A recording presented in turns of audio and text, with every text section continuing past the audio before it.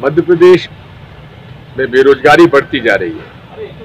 और विशेष तौर पर कोरोना के समय तो जिनको नौकरी मिली हुई थी, वो भी बेरोजगार होते चले आ रहे हैं। मैंने मेरे कार्यकाल में मध्य प्रदेश के निवास करने वाले युवाओं के लिए विशेष तौर पर मदद करने के लिए ये नियम बनाया था कि दसवीं और बारहवीं कक्षा जिसने मध्य प्रदेश से पास की हो, उसी को ही हम शासकीय नौकरियों में लेंगे।